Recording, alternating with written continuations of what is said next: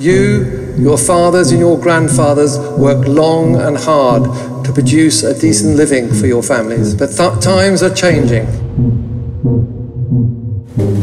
Через войну ви отримали зовсім непридатну для життя територію.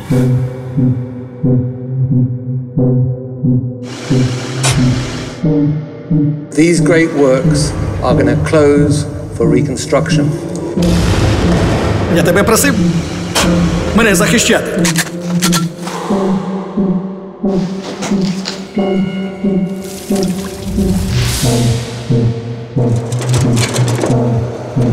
Ну, у вас і робота.